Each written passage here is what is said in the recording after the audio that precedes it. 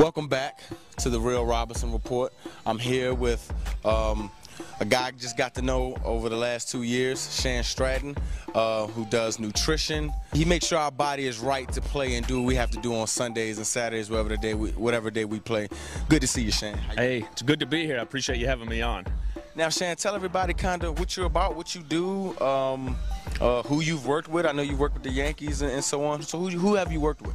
I've, you know, fortunate over the past 16, 17 years, I've worked with everyone from the Yankees to the Boston Red Sox to locally with the Arizona Diamondbacks. I do a lot with the NBA, a lot of NFL teams and players like yourself.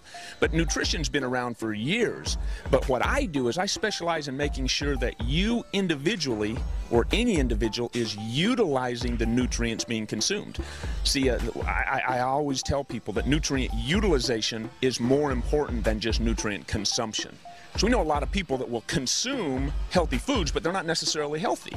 So you so you're kind of helping our bodies um, uh, kind of break down what we are we're already putting in. So you're helping us from the inside out. That's exactly right. When you consume food that's not being broken down, it causes a lot of problems. It causes lactic acid and uric acid. It causes weight gain. So anything I can do to increase the breakdown of that protein shake you're consuming or that grilled chicken breast or anything you're eating, then you get more usage of that and you're able to be much more efficient in what you're trying to do. Now, any, any of you viewers who work out, um, you heard he said lactic acid. Lactic acid is when, let's say you do some single leg squats on Monday, Tuesday morning, lactic acid. you, you, know what lactic acid is all about. Now, uh, you have a machine here. It's uh, explain about it a little bit. Well, this this is an alkaline water machine from a company called uh, Enagic, and they provide this technology that takes regular water and turns it alkaline. And people don't realize, neither did I, that the waters we're consuming, bottled water, sodas, sports drinks, those are all acidic. Even if they're purified, they're acidic.